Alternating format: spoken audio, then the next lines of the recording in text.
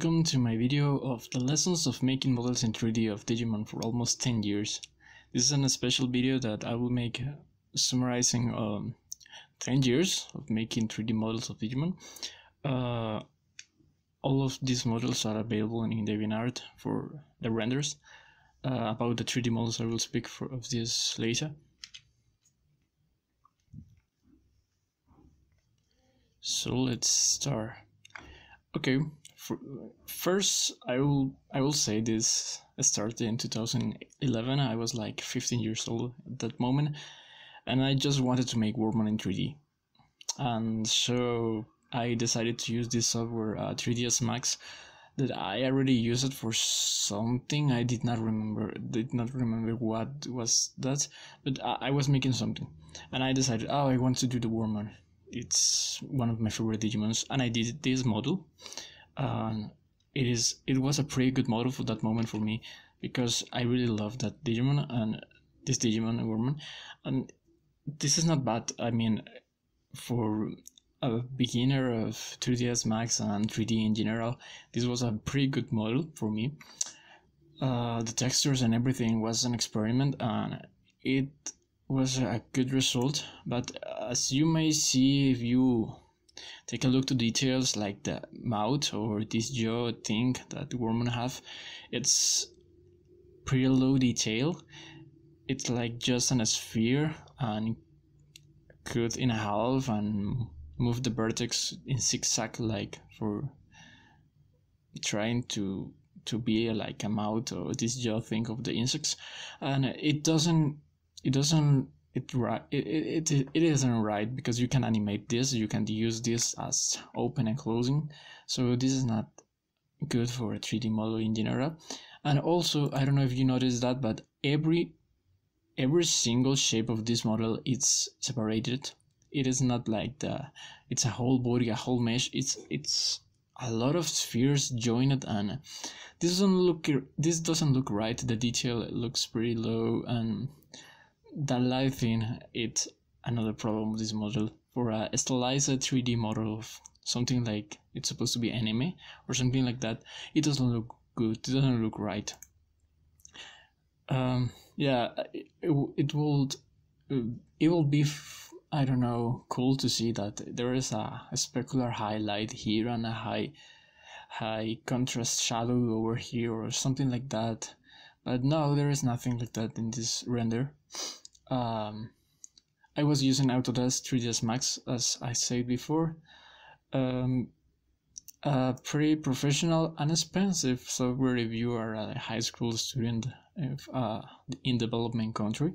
So yeah, uh, this was not a good idea. I, I didn't know how to use it, by the way. I was just experimenting with it. Uh, I decided to.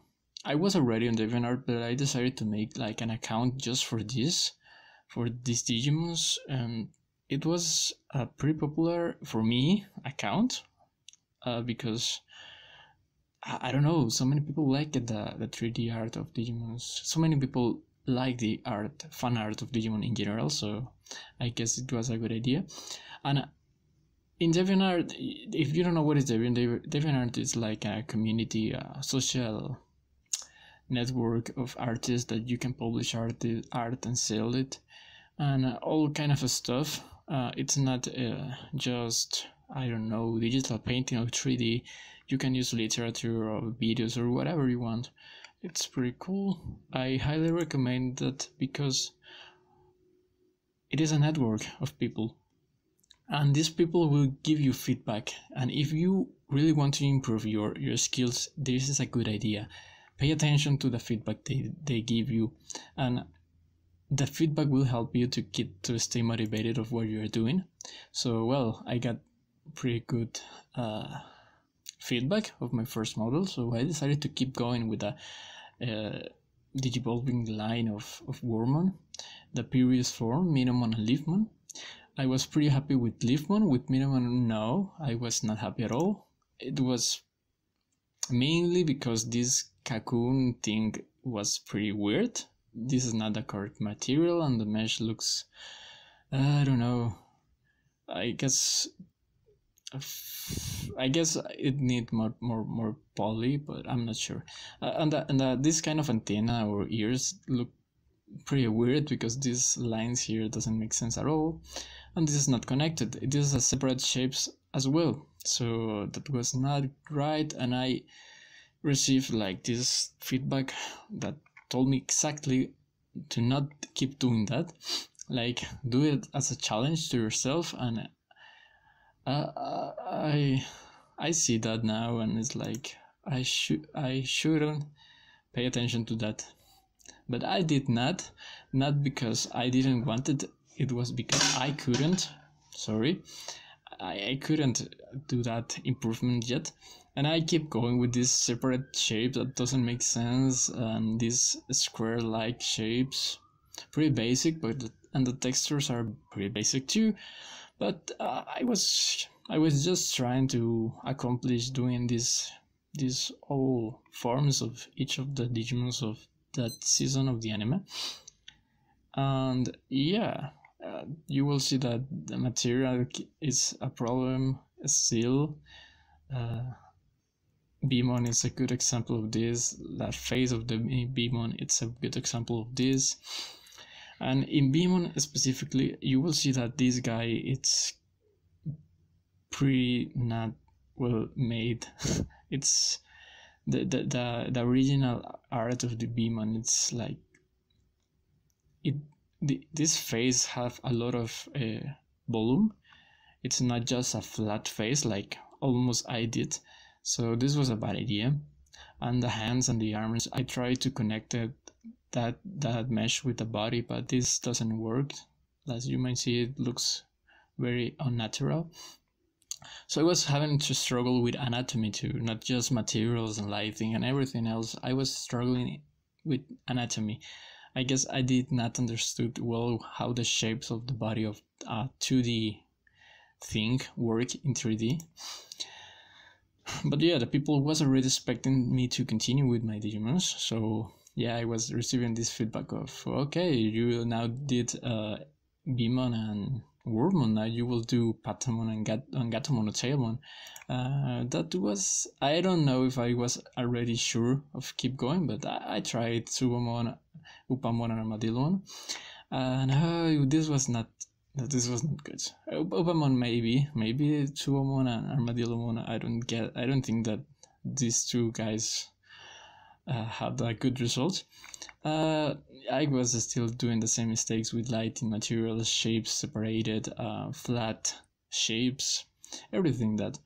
Uh, um, with this other guy, Hawkmon, I guess I have some improvement.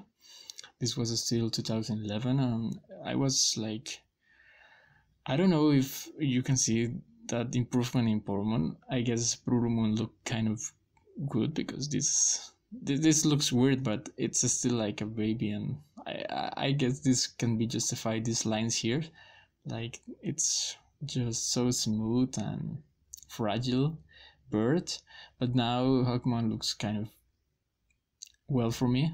I I I guess this is just for the face. Everything else is not as good, but the face it's pretty detailed. And the beak it's pretty detailed. This thing in the head is detailed. I, I was doing very job here. I guess the lighting changed too because it's like a front light and then you can see the the, the face pretty pretty illuminated. I don't know. This worked better with uh, Tokomon and Yaramon and Yukimi, Botamon, and Poyomon. That was a pretty simple shape, so not too many places to get everything wrong. With Tokomon, Tokomon was this was okay for a pretty pretty basic shape. It was okay. I did not make them out, but this work it looks cute. I guess Nyaromon doesn't look good at all. It's flat this ear doesn't seem to be in the right place. The tail looks separated. The material it's not the right material. Yukimi Botamon have the separate shapes and that looks pretty obvious to me right now. I don't know if I saw that at that moment, but it looks very, very natural here. Um, so I was having a lot of trouble making a rookie version of these two guys. Patamon, you can see that Patamon went pretty wrong everything here is wrong. I mean, only the eyes. Maybe I can rescue of this this model. The the shapes are so flat. The this is so out of the place. Everything like the like the wings seems pretty weird. I don't know. this, this this looks like squares, like boxes everywhere. I don't know. Um, but yeah, I was trying to make separate shapes. I was I was trying to not do separate shapes anymore. I was trying to do only one mesh, and this mesh is everything, but it did not end well. So with when I was doing Salamon, I really tried to go back to the shape by shape thing, and it kind of worked. But you will see that the material on the face looks looks flat again, and this these two guys didn't end well. But when I when I entered on more complex characters like Flamedramon, you will see like this that helped me a lot because they have so many materials, so many parts that are separated that it was a good way to improve the models. And I added a lot of details that I couldn't add it before or I did not pay enough attention. And I could improve the lighting and you'll see that there are a lot of materials here. The skin is pretty shiny and this armor is like it, I guess it is I wanted to make some reflection but it doesn't look like it reflecting anything. Just an specular with high tint I guess. And the anatomy it's better than Veemon and other Digimons I made previously but it's still kind of I don't know uh, like in a square, like it's like like boxes, not like very anatomy anatomy accurate. I like it. I like this making these symbols in 3D look look it pretty right for me at that moment. And this was one of the better models at that point of getting attention of people. I received a lot of good uh, feedback. Um, it was I was very happy with this one. Uh, the people, the people was expecting me to continue. I uh, I remember that uh, they were they were like, oh, when you will, then the next will be Raidramon, I guess, and yeah, they were right. I I. I was pretty inspired with with Flamedramon and Raidramon because I love those two Digimons. So I, I keep going and make the symbol again and I you try to make a lot of details much of as, as I could and it worked for me. The material seems pretty flat still, but this looks right if you go, I don't know, enough far of the screen. but yeah, I was having like this style for each each each DGX, uh, Digivolution.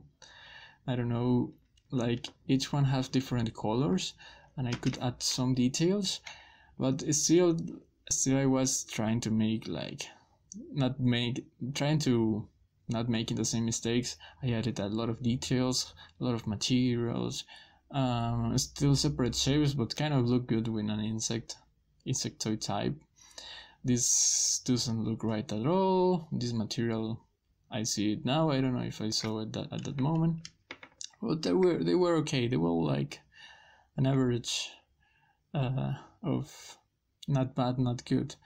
And I was happy with that. And a lot of people, I think, was happy with that because I was a pretty beginner guy. I guess uh, Pegasusmon and Nefertimon looked kind of cute for me, but they were a different uh, method. I used external models. I just like search for free models of 3D wings or something like that, and I added them to this. On the face of Nefertimon, I guess it was also a the head of someone i don't know but yeah it was free models everywhere but i tried to add a lot of details for making these models like the more accurate i could at that moment and the materials were kind of okay it's still pretty flat.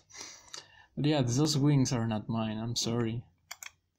Uh, so I was still in 2011 I was struggling with time because I decided to make more complex characters like this one Chimeramon it's pretty complex character. Uh, this guy has is like a merge of different Digimon, so you will see that this is not supposed to be of this body and everything is like weird. But this was a pretty good. I I I thought it was a good idea to make this one. It's like a line B Jane. I don't know the bad guy. The bad guy is it's well. Um, yeah, it was the bad guy. And so yeah, this was not a good idea in time because I wanted to end this and because of that I just did not pay attention to the mistakes I was I, I knew I was doing. I just wanted to end this because I I used like three days with this one. And it was a lot of time. Previously I did like these baby forms like in, in training forms like in I don't know three in one day. But this guy took me like three days and it was a lot of time for me. Uh, but yeah I keep going. And Magnamon was the one of the, the one of my favorite guys Digimon models I made at that point. It's still one of the one that I am pretty proud of. But this guy consumed time too because there were so many experiment with materials and shapes. But it, it was pretty good. Uh, I guess there are some things to get better, like this kind of weird lines here. This sphere doesn't look like part of the body the or the armor. This hand look pretty weird too. Uh, yeah, the people started to asking me for Digimons that I did not was thinking of making. That was a, a problem because I was like, mm, I don't know, I already don't have time for the ones I am supposed to be doing, and I don't know if I could do I could do more.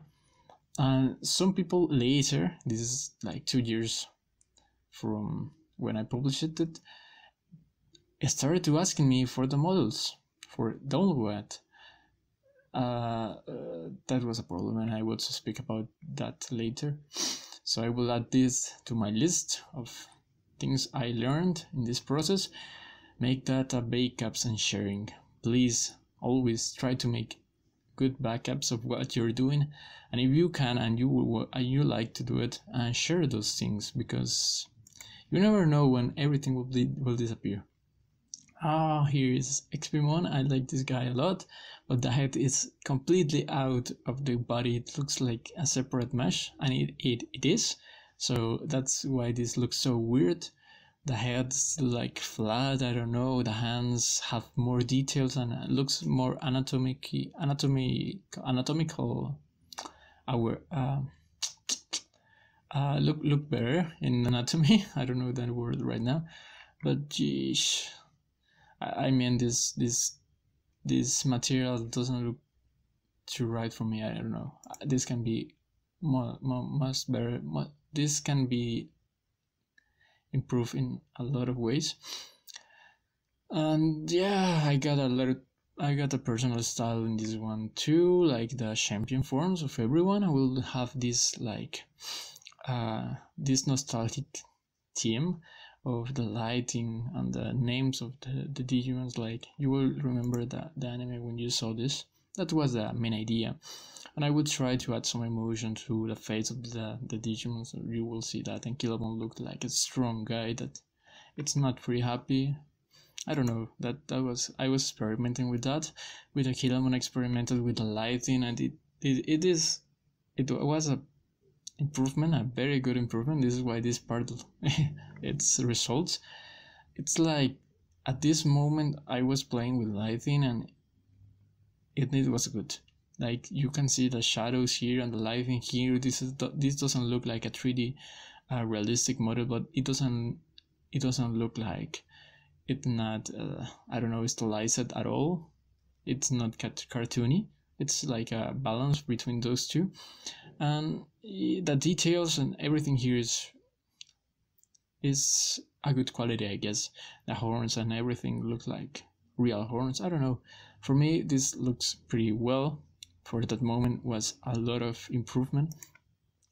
And Angemon was one of the ones with more attention because everyone loved Angemon and this guy was a challenge for all the clothes and everything but I don't know how but this ended pretty well I I guess I stole ahead of someone for this one, but yeah, this this was a great improvement in my in my in my process. And Tailmon doesn't look right for me mostly because of the head but because you can see in the other angles it looks kind of okay. But if you see this angle that the one I decided to go like the main I don't know why it looks weird at all. It's like this the head does, doesn't look like a head but yeah. The final model of this part was Stingmon. I was so happy with Stingmon because I improved a lot the materials. And yeah this was like I don't know an improve of almost everything. I was so so into the details of the shapes because I love this guy and the light and I was experimenting. I guess I didn't use just one light. I used two or three lights I don't know. The materials the transparent materials the reflective the glossiness everything was pretty much uh, different from other models. The the details of the hair everything was like an improve. This this legs doesn't look right for me but I don't know why. I don't know why did I did not add more detail here but the the pose and everything was uh was one of the ones that I was happier with. And this was because I really love that, that scene when these two guys are in 3D and are and in DNA, digivolving. That was the inspiration for these two designs, and you can see that this guy is going like this way, and this guy is going to this way, so they are about to DNA digivolve. And I, I, I, I told I, I, I wrote this this this entry in my journal of DeviantArt at the point that I was going to go to a break and I did and it was a long long break. But I promised I made a promise at that point that I will return with the DNA Digivolve version of these guys and yeah the feedback in the community was not I don't know if they were they pay attention at this point, but later they were where the hell are you? And I I need to talk about this because money was a problem. I was like a student. I I need to go to to college and everything of that, and I did not have enough money. I did. Uh, I, I needed to go to do some works and um, or part time job or, or anything that could sustain maintain me in college and I did not have time for this. So yeah, making these kind of things are, are a hobby and I did not have money either neither for for the software. So yeah, sometime later, I don't know, uh, a lot of years later, I just saw this uh, uh, open source movement and I was aware of it and I already knew some of the software that it that it was free and everything. And I was like I, I need to give it a try because yeah I don't have money for it software anymore. And yep that was in 2018 and I was back. And finally I accomplished to making the first DNA digital for these guys a lot of time later. But uh, I I used Blender for this one and it was I guess more improvement because I had a, a lot of time for I don't know watching videos and learning from this software. And I I know 3ds Max is supposed to be professional and everything. I I guess many people think Blender is not but Blender is a pretty professional uh, uh, standard software for me and I really like that Blender has a community full of I don't know help and tutorials and information about everything. So if you only look for information, you will get almost everything you can do, and you will you will have like I don't know you you you will develop a curiosity of everything that Blender can do that I loved it. So yeah, I was like into Blender and I, I was experimenting with the shaders and everything. I, I guess this was Cycles render and it took me a lot of time, but not as many as other models I made in the past. And I was, I think I improved a lot in materials and proportion and perspective because I, I had time for playing with Blender in those years that I did not make eh, more models and the design this the design of this these guys is pretty much complex, I guess. And for me, looks right. I don't know if it's the best way to go, but it looked right for me. Shakkoumon was like a, rush, yeah, a rush. I did not have time. Again, 2018, I was like working and studying at the same time, but I say to least like I can use like two hours a, a day for making models. It, it, it must be possible. And I did this one in like two hours. I record that and I published that on YouTube so you can watch the process. And it was a good idea because that was the way I could continue with these guys. But the the bad the bad the problem with this is that this is not a good model as it was it was the the previous Paildramon. Sorry, just just crush it. Okay, it was not as good as Paildramon. Shakkoumon was pretty simple, and it was because I was in a rush. I did Paildramon, I don't know, in vacations, I guess. And Sylphimon was one that I did in 2020 it was a long time later because again I was working and I was with uh, my my college students and and I did not have time for this. But what what was fun with Sylphimon it was like I really wanted to to end this, so I did. I I say to myself like before the year end you need to publish this thing, and I don't know where you're gonna find the time but do it and it worked. And it, it was a good model i guess because the sculpting and all that process that i did not use before was a good experiment. Uh, there are like three Sylphimon models in trash because I did a lot of version of this one and they were pretty bad. But this one looks kind of good. I don't know if good is the word, but yeah, it worked. And I I used this 360 a view of this one, and I love that because you can see every detail I worked on. So I continued my work uh, with Imperialdramon, the last of my models, and uploaded the video because it was a long process, but it was the most detailed as I could at that moment, and the materials and everything is highly, highly, highly detailed. Uh, I mean, it was it was a great investment of time, but I get I think that the results are are very good. And this was the last model I made. This was this year, at the start of the year, but at the same point, this is the end of the 3D models because it's the last one I wanted to make make um, Imperialdramon. So this was it. This was the end, and I was pretty happy with this.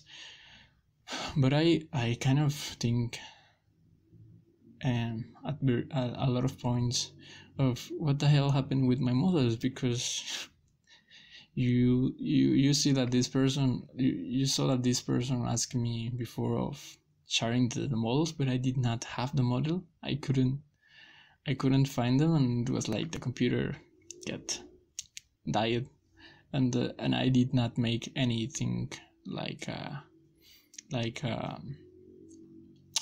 like uh, how do you say this um backup of this of this model. So I just have the images but with the Blender ones, the ones uh, of DNA Digital Revolutions like Sylphimon and Paildramon and Imperialdramon I got I, I have all those those models, and I really want to. Uh, sorry.